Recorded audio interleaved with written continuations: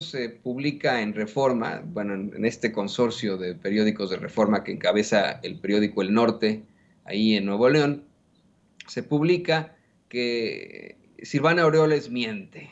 Fíjese, dieron a conocer recientemente eh, miembros del mismo actual gobierno de Michoacán que la casa esa de gobierno donde, pues que, pues donde, donde vivían los gobernadores es un palacete y aparte un búnker muy al estilo Hitler. Es un palacete ahí que tiene hasta un gimnasio, albercas. Ayer se lo platicábamos aquí con lujo de detalle, ¿no? Lo fastuosísimo que es, las habitaciones, los, eh, eh, los salones que tiene. Es un palacio, un palacio allí en Michoacán, eh, un palacio que pues ha tenido una serie de modificaciones y que le cuesta al erario millones de pesos, obviamente. Y cuando se da a conocer todo esto, cuando el, actual gobernador Alfredo Ramírez Bedoya lo da a conocer los medios de comunicación tradicionales, como si le pusieran un cohete en, el Sicirisco a, a Silvana Aureoles, pues salió a decir, no, ni madres, yo no le hice ninguna reparación a, ese, a, esa casa de gobierno, yo nomás vivía ahí. Punto. y, y pues resulta que no. Según el periódico El Norte, que es el padre de Reforma, eh, Aureoles utilizó al menos 12 millones de pesos, que es lo que refleja un pago que encontraron en una constructora, 12 millones de pesos, para hacerle arreglitos a la casa en la que vivió seis años. Y le voy a compartir esta nota, le digo que publican ahí en eh, el periódico El Norte, padre de Reforma. Dice, mientras el exgobernador perredista Silvano Aureoles afirmó que no realizó ningún arreglo a la casa de gobierno durante su sexenio, y por cierto, don David, le va a estar poniendo las fotos de Reforma, ahí para que usted vaya viendo ese pinche palacete. Se lo voy poniendo, pero Mientras el exgobernador perredista Silvana Aureoles afirmó que no realizó ningún arreglo a la Casa de Gobierno durante su sexenio, un contrato gubernamental de 2020 refleja un pago de 12 millones de pesos a una constructora para ese fin. Aureoles Conejo afirmó en un tuit, luego de que fue acusado por la actual administración morenista de derrochar lujos y frivolidad con esa residencia oficial, que no construyó nada más en esa casa al sur de Morelia, lo que le digo. Y él, dijo, él dijo que no había hecho algo, ¿no? Pero pues, eh, ese es uno de los contratos que le encontraron, señoras y señores, ¿eh? Uno de los contratos que le encontraron. No más uno. Pero bueno. Puso, no es un búnker, es la casa de gobierno en la que han vivido otros gobernadores de Michoacán. No le hice ni un solo arreglo en los tres años que estuve viviendo ahí. Nada de lo que hay en esa casa se construyó en mi administración, tuiteó, muy mentiroso. Sin embargo, dice, dice Reforma, dice el norte de Reforma, en el contrato DOP diagonal ADE diagonal 200.153 diagonal 2020, se registró que el gobierno estatal, a través de la Secretaría de Comunicaciones y Obras Públicas, le entregó un contrato de 12 millones de pesos a la empresa Recam Construcción para el mejoramiento, rehabilitación y equipamiento de instalaciones deportivas, de recreo, atención al público y hasta el helipuerto. Pues sí, pues era el que utilizaba este. Imagínese usted, qué chingón, ¿no? Haber sido el gobernador de Michoacán y como si estuvieran los supersónicos, ¿no? Así de, ya me voy a trabajar, entre comillas, ¿no? Ya voy a trabajar. Y se iba a su helipuerto el cabrón y de ahí se desplazaba en, en helicóptero, como si fuera, como si estuviéramos en, no sé, ¿no? como si fuera esto de los supersónicos ahí.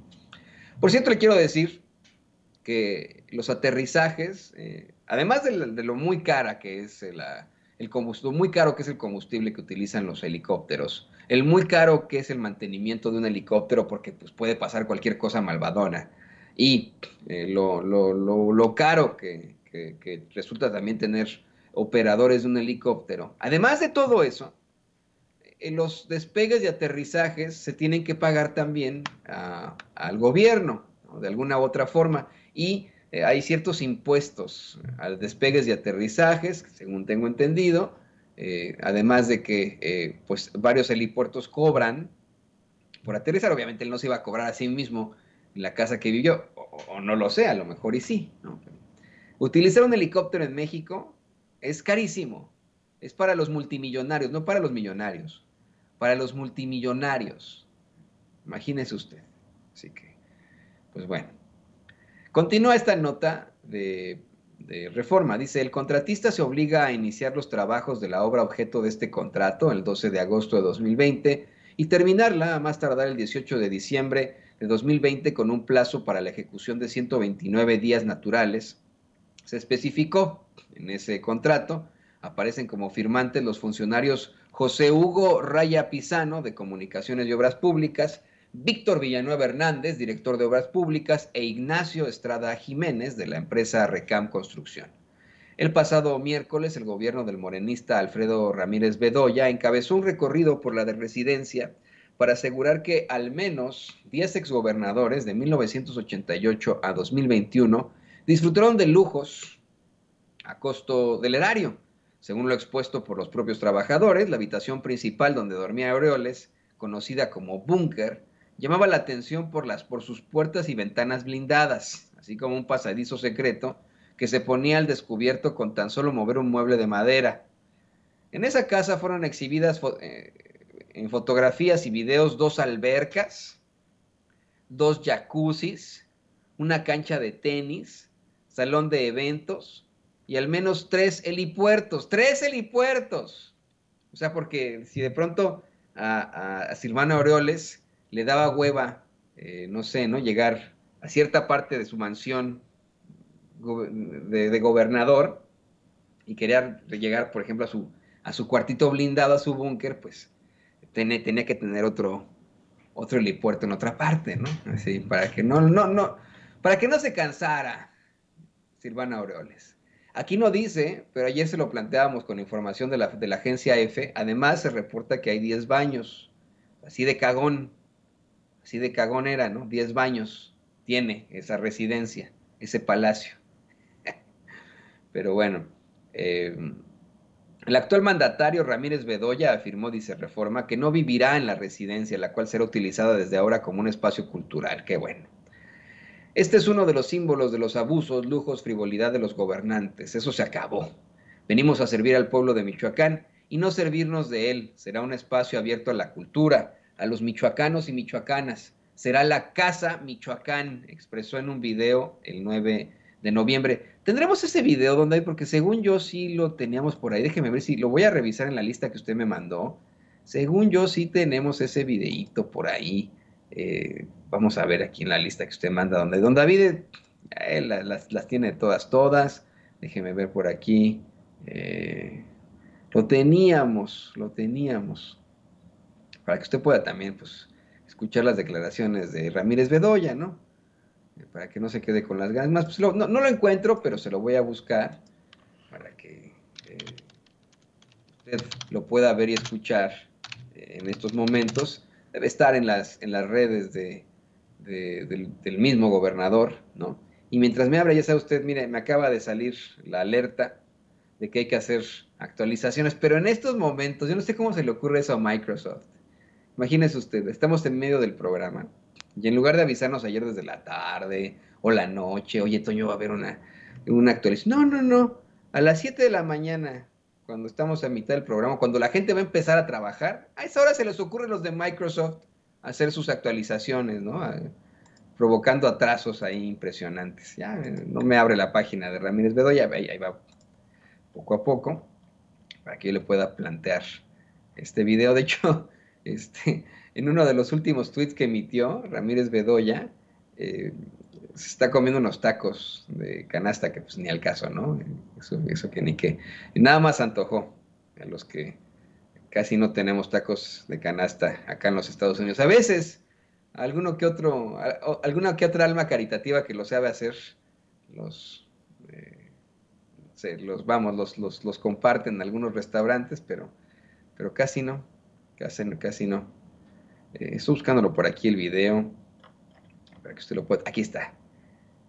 Aquí está, aquí está. Mira, de hecho es un. Eh, aquí está. Ahí le va a mandar. Se lo va a mandar. Y yo le voy a continuar con la nota. Eh, con la nota en lo que. En lo que don David puede convertir este video para que usted lo pueda, lo, lo pueda ver aquí en Sin Censura. para que no nos quedemos con las ganas. y dice, bueno, este es uno de los símbolos de los abusos, lujos, frivolidad de los gobernantes. Eso se acabó. Venimos a servir al pueblo de Michoacán y no servirnos de él. Eh, será un espacio abierto a la cultura, a los michoacanos y michoacanas, será la Casa Michoacán. Le digo, esto eh, lo expresó en un video eh, hace algunos, algunos días. y don David le va a poner esto, pero yo le voy adelantando. A mí me parece verdaderamente lamentable esta situación. Mire, en efecto, la casa fue construida en 1988 y desde ese entonces eh, gobernadores del PRI, del PRD, han vivido en esa casa y le han hecho una serie de modificaciones. Me imagino que comenzó como una mansión común y corriente, ¿no? con sus lujos y etcétera, pero común y corriente y le fueron agregando que otra alberquita, ¿no? Este, ahora que la cancha de tenis, a que ahora otro helipuerto, no sé qué, ¿no? Y eh, pues para la realidad de Silvano Aureoles, pues fue fantástico.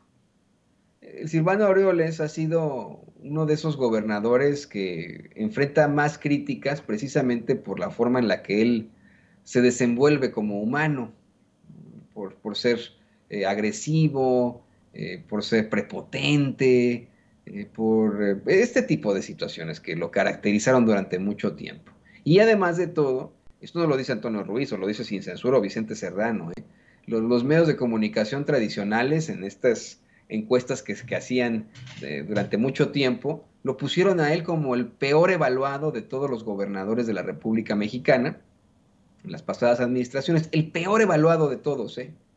El peor de todos fue Silvano Aureoles, imagínense. Eh, Silvano Aureoles protagonizó una serie de escándalos, eh, se vio envuelto en problemáticas con la prensa, eh, con el gobierno federal, se vio envuelto en, incluso una discusión que, que, terminó en violencia con un maestro a, a quien empujó, ¿no? por ejemplo.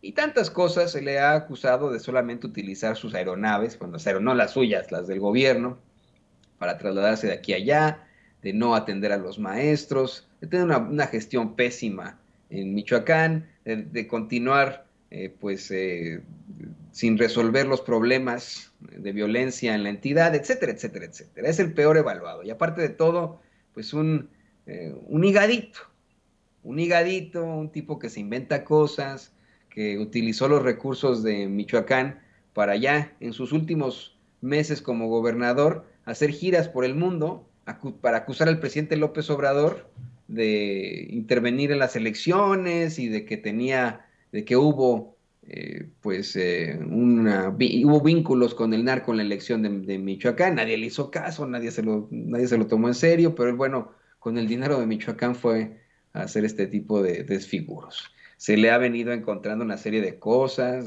pues, eh, gastos impresionantes en, en eventos, en aeronaves, es verdaderamente lamentable. Perdón que dedique tanto tiempo para esta primera nota, pero, pero es, es lamentable. Y ahí le va, ahí le va el video que publicó Ramírez Bedoya mostrando esta la casa que es ahora de todos los michoacanos, pero que en algún momento fue la casa en la que el muy cagón de Silvano Aureoles pues, utilizó sus 10 baños.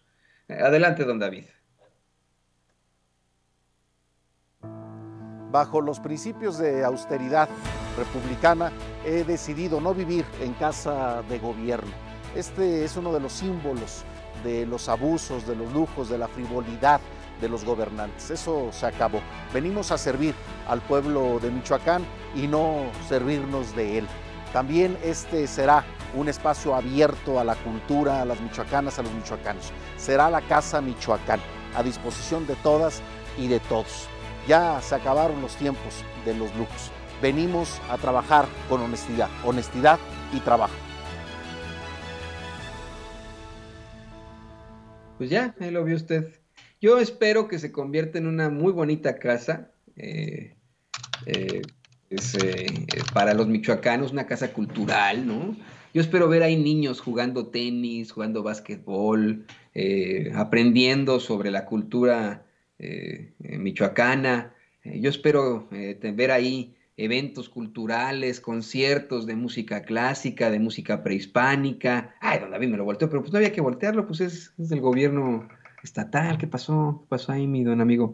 Eh, yo espero ver ahí en esa, en esa, eh, pues, en esa casa Michoacán eh, cosas muy distintas que con Silvano Aureoles.